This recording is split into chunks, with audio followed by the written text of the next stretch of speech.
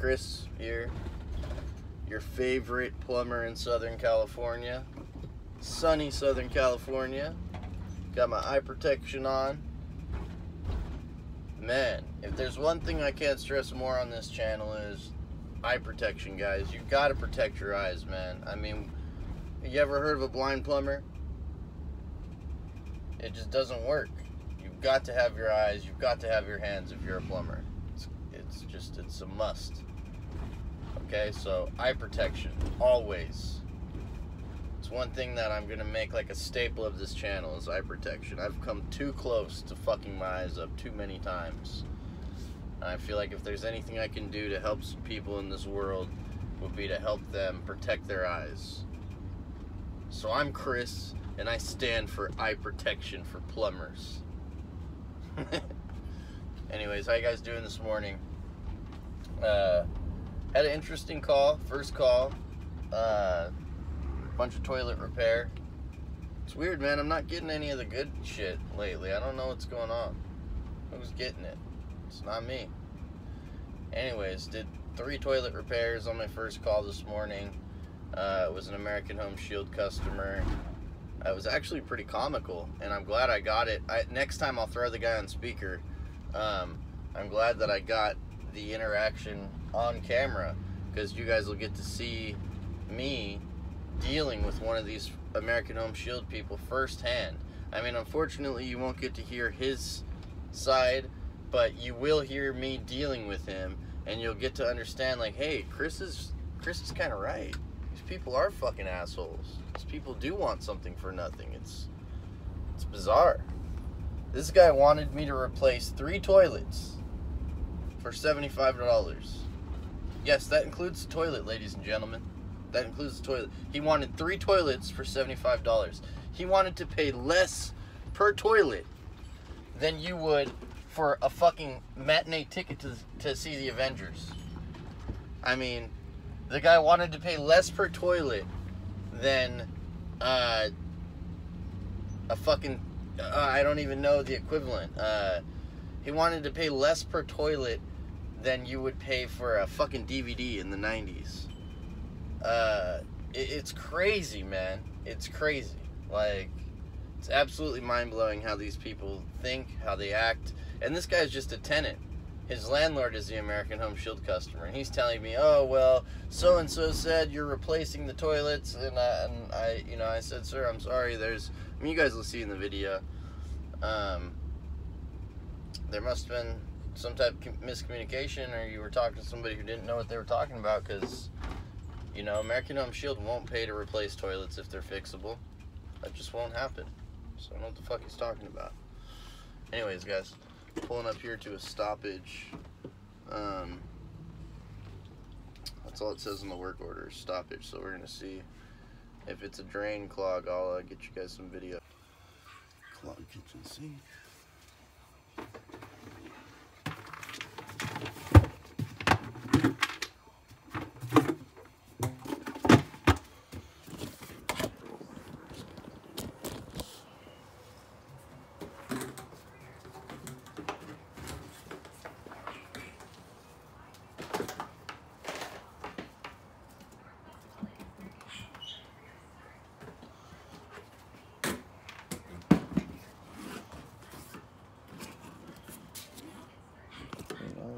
down the disposal side because you can get deeper.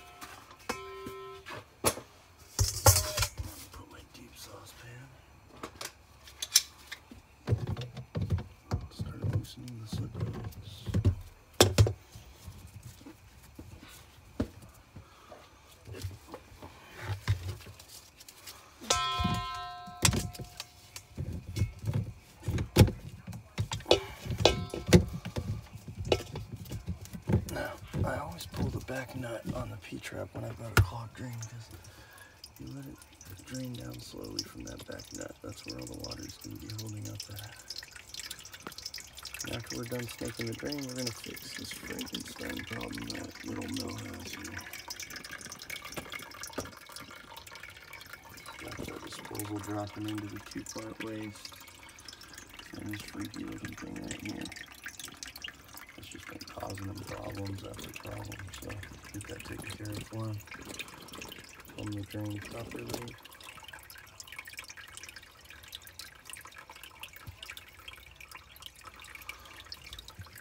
Oh.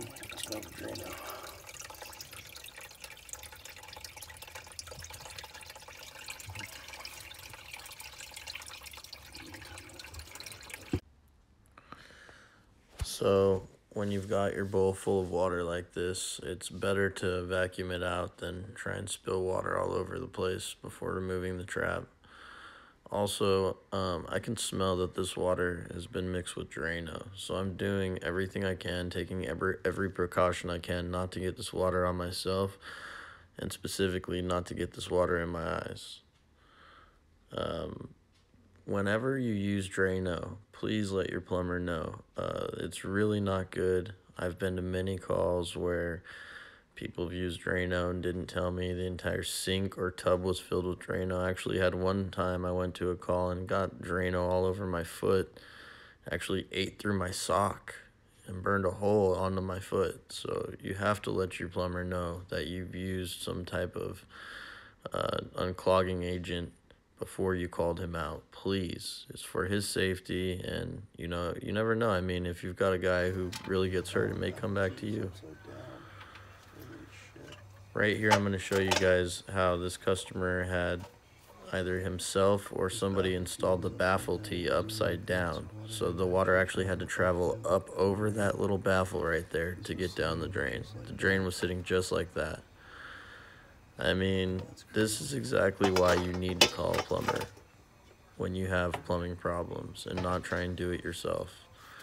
Or if you're going to do it yourself, then, you know, educate yourself on things. Watch videos. Um, ask friends, you know, do, do whatever you can to educate yourself to make sure you don't do things like this and cause yourself further trouble. Now, this guy was an American Shield customer, so drain unclogging is done for free, basically. I mean, he pays a $75 uh, copay to American Home Shield, and they pay to have the drain unclogged. Now this drain has what's called a hard 90 on it. The trap comes up to that hard 90 that I'm sawing off right now. And uh, I'm going to change this to an inch and a half uh, tubular P-trap. So in the future, when he gets a clog, it'll be easier for the plumber to snake his drain rather than having to go find a way up that 90 right there. Putting a snake up that 90 is not the easiest thing to do, especially if you've got a good cable. Some of the looser cables, no big deal. Now, while I was sawing this 90 off, uh, I was being rather careless. I didn't unthread the uh, vinyl dishwasher hose, so I ended up nicking it with my miter saw, and uh, now now I've caused more work for myself, and I've got to um, now supply this customer with a free dishwasher hose. And it became actually a much bigger problem than it should have. Had I just done the proper thing and disconnected the dishwasher hose before I sawed off the 90, I wouldn't have had this issue. But I was being lazy and rather careless, and you know I learned a valuable lesson that um, it's always good to cover your ass and. Uh, you know, if you've got a vinyl hose in there and you're going to be doing sawing, remove the vinyl hose temporarily and then reconnect it. So I'm going to take a piece of sandcloth here and uh, sand off the burrs on that ABS pipe that I just sawed off. It's always good to do that. Um, I know some guys always sand ABS before gluing it. I don't always sand it, but I try and mark it up a little bit usually take my channel locks and, and run them over the edge a little bit, just give it a little bit of mark, something to take off the uh, shine of the ABS and give something for the ABS glue to adhere to a little bit more. ABS drains are typically never under pressure, so it's not something you really have to worry about too much, but you know, I'm trying to be more and more thorough as a plumber. All right, boys, here we go. Gonna get down in this drain now. Um, you can hear the engine winding down and up on my machine. Uh, when it speeds up, I've made it through either a turn or a clog. Um, when it winds down, it's because I'm engaging either a clog or there's some type of turn that I'm going through. Um, these ca- my cable's kind of old. I uh, definitely need a new cable. The Spartan cables are usually very rigid. Um, this one looks kind of like a limp noodle, you know, flapping around there like that. So it takes a lot more handling than normal. Um, it wants to flop around and tie itself up constantly. Uh, I let my friend borrow my uh, snake one time. A guy was trying to train on uh, snake and drains, and he bound the cable up once, and it has like a small kink about 15 feet, maybe 20 feet out. I kind of like that kink. It's kind of weird. I, I, don't know. At first, I was really pissed off about it, but now I kind of like that kink because I feel like it helps clean the drains even more. Um, when I'm pulling this cable back out, you may see it. I don't know. But uh, yeah, I always snake. Uh, so typically, what I do is when I run my snake, a lot of guys I notice they'll hit it till they they'll run it till they hit the clog. Boom, they'll pop the clog and then they'll pull their snake back. I, I don't do that. I run my snake out at least the, to the main uh, 50 feet. That's the that's my rule of thumb. I like to go at least 50 feet. So, ugh, right here we got some gunk coming back. Um, I ended up having to clean this guy's whole cabinet out because the gunk got down in around his bottles. That's another thing, man. If you got a clogged sink and you know you got a plumber coming over to snake your sink for you, please clear out all your shit under the sink. Don't make that another. We got a hard job as it is, as you can see, guys. This isn't the greatest, most fun job in the world at times.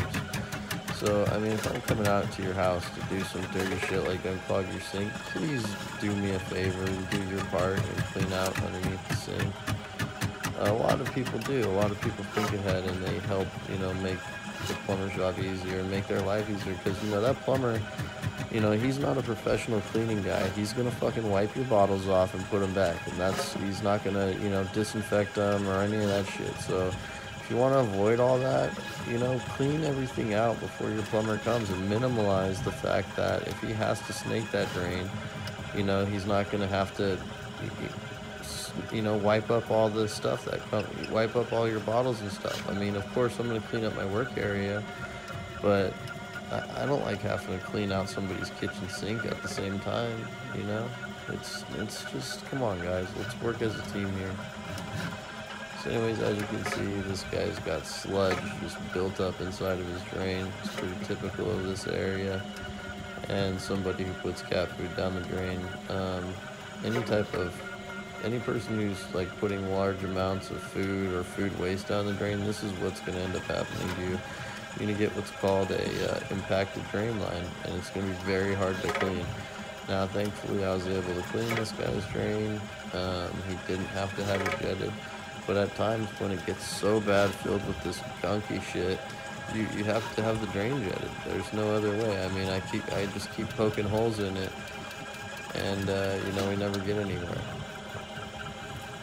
So, another way, good way to maintain a drain that you know has a lot of gunk in it is boil a pot of hot water or two once or twice a month and dump it down the drain with the disposal on. That'll help force the hot water down the drain and it'll help clear a lot of this gunk, this grease and gunk and shit that builds up in there that ends up clogging uh, or catching, you know, food particles or catching more solid shit and that ends up clogging.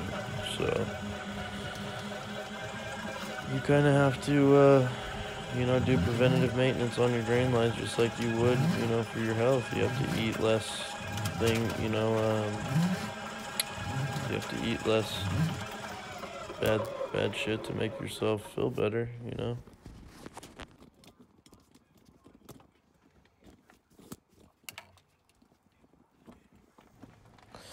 Alright, so I'm going to start pulling the cable back here and uh, you'll notice that I do it without spinning the drum.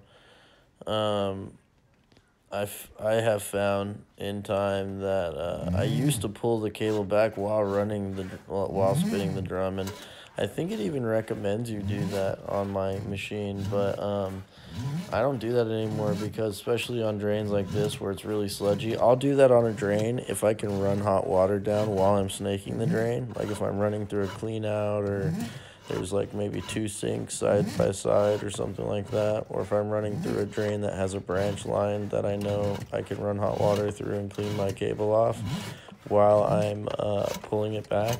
Otherwise, in a drain like this, man, there's no way, especially with my cable as loose as and limpid as it is right now, there's no way I'm pulling it back and uh, spinning it at the same time. And there, it would just cause me hours of extra cleanup with all the shit that it would sling around this dude's cabinet.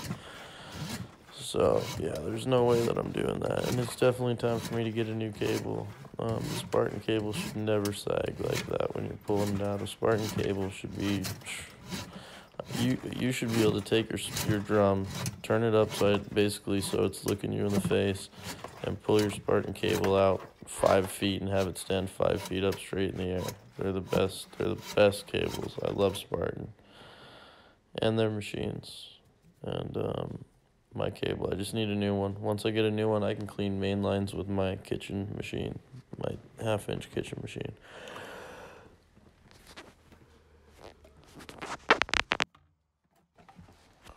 Now, when I'm running my drain lines, I do things very similar to how I run my copper. Uh, I always plot everything out first. I dry fit everything. Um, you know, measure twice, cut once. Um, I'm always trying to make sure I've thought of everything before I make anything permanent in plumbing. Because once things are permanent, then, you know, it's a lot harder to come back, especially on an ABS drain line um, you've only got, you know, one or two chances at most before you have to open up the wall and start replacing shit inside the wall. So you've only got a couple inches typically hanging out of the wall from the tee. Um, so you want to be sure when you cut. That's why I always cut my, when I cut a fitting off ABS underneath the sink. I always cut right behind the fitting. I never cut a little bit in between the fitting. I always cut right up against the fitting so I have as much of the ABS to work with as possible. Um, on this one, I'm using a 60 degree bend coming out of the wall directly onto my trap adapter. As you can see, uh, now the next plumber who comes here can just shoot straight through that 60 on the trap adapter. Uh, he's not going through a 90. It's, you know, it's a little bit of a bend still, but definitely more doable, especially since it's not up and down the way it was. That other one, I've just I've ran my snake through those nineties, those hard nineties before for the traps, and they're they're just it's a nightmare. It's a nightmare to get through those, and then your snake is very hard. It's just very difficult. So, the way I've rerun this drain for this guy in the future, if it gets clogged up again, which by the way these guys push it down the drain, I'm sure it will. Um, you know, the next guy will have a much easier time with this drain. Uh, if they do like I told them and stop putting cat food down and stop putting food and all the shit that they put down there, and they dump boiling hot water down once or twice a month through the disposal side with the disposal on, it'll help cut the grease down, it'll help cut the gunk down. You know, they may not ever have to see a plumber like me again, and if they do, it'll be years and years down the road. But I highly doubt these people will listen because most people don't. And, uh, you know, I'm sure I'll see these guys again, or somebody else will see these guys again in the next couple years. But at least they'll get a couple years out of their drains. Versus had I just put that Frankenstein shit back together, you know, it'd probably be a couple months or, you know, who knows, maybe a year at most. But the way things are done now, water should flow properly. They should get the proper flow through their drains. Things shouldn't be backing up like they were. Um, things will be much better for this guy.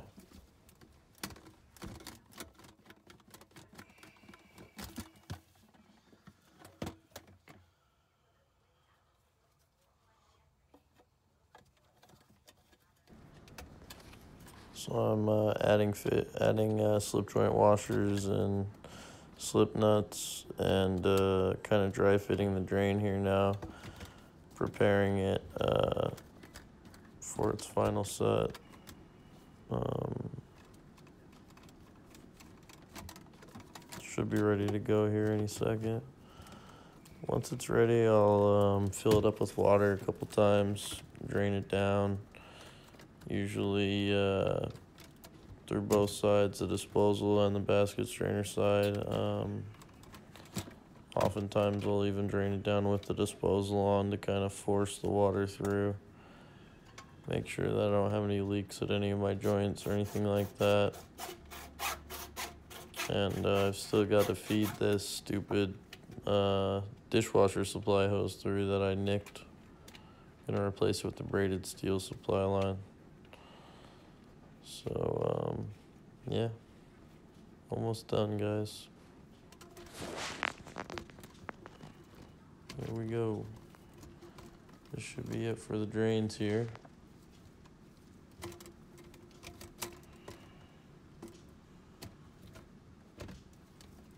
This is always kind of one of I, I always like doing drain work. So just like putting anything else together in plumbing, it's kind of fun.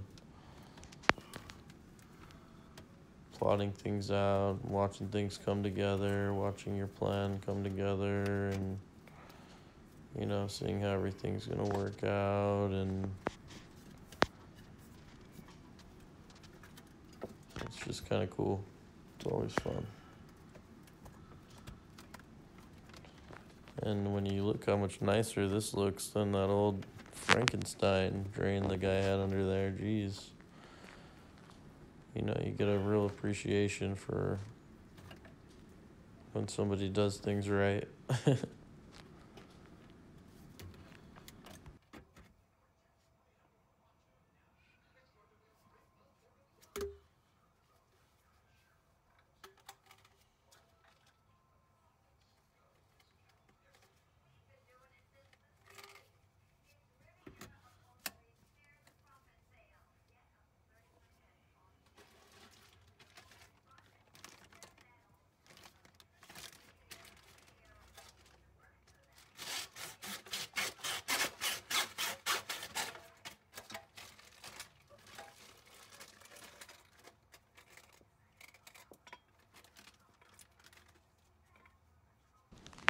So you can't really see it now, but um, I'm kind of measuring out the flange tail piece where the two part waste and the flange tail piece come together.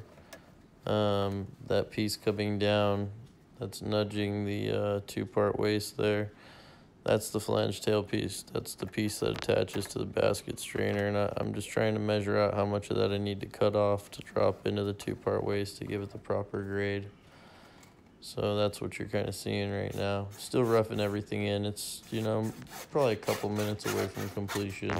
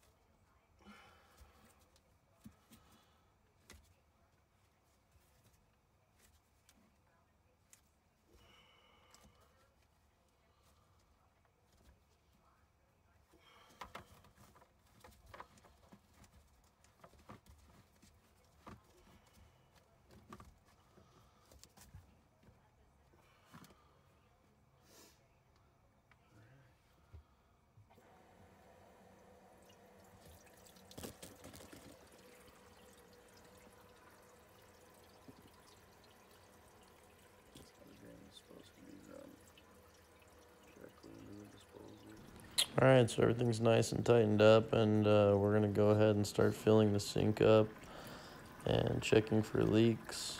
Um, yeah, this job's pretty much over, guys. Uh, thank you for watching. I really appreciate everybody who uh, watches these videos. Um, and uh, good luck if you're trying to do this yourself or if you're just looking for some pointers or whatever you know, uh, good luck out there. I, I wish everybody the best of luck. Uh, stay safe, protect your eyes, protect your hands, and uh, have a nice day.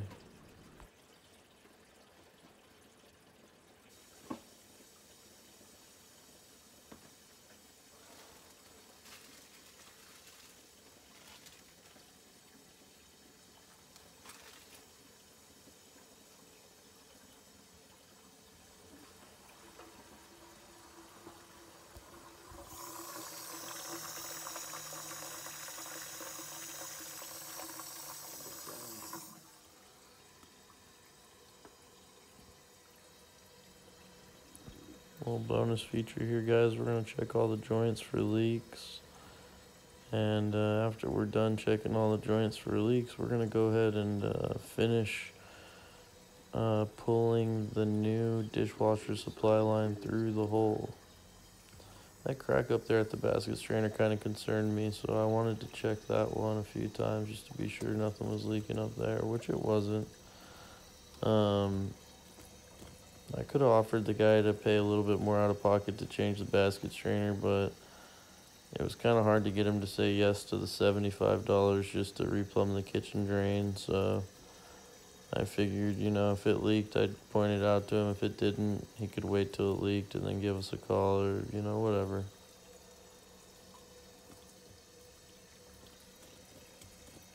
Everything's looking really nice. Everything looks good.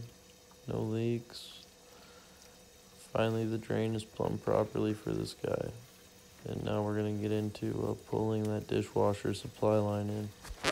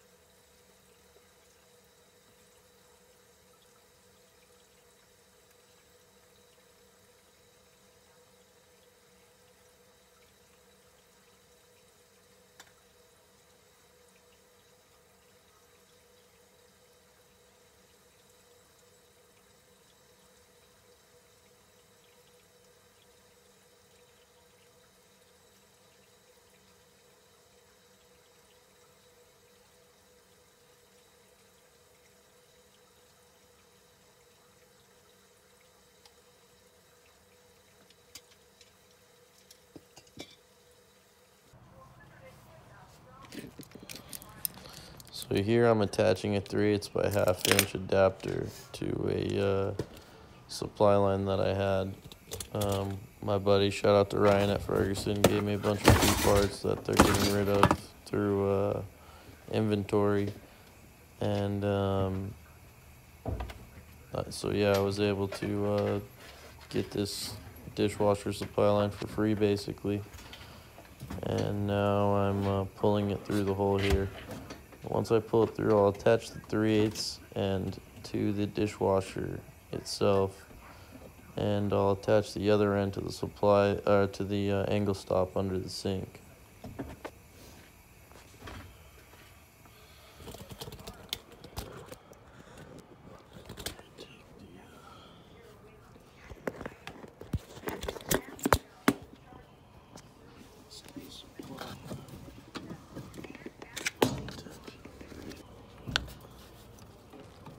So here I'm tightening on the uh, 3 8 end to the dishwasher. That water underneath is from when I removed the old dishwasher supply line.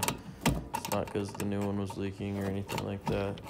So I'm tightening it on with my real mini pair of chans. I love this little mini pair of chans. Um, I've always had these for years and years. I bought different pairs of these. Um, this pair is actually made by Crescent Wrench, but um, I, I usually have the blue handled minis and uh, yeah, they're great. They're an awesome little little addition to any plumber's tool bag.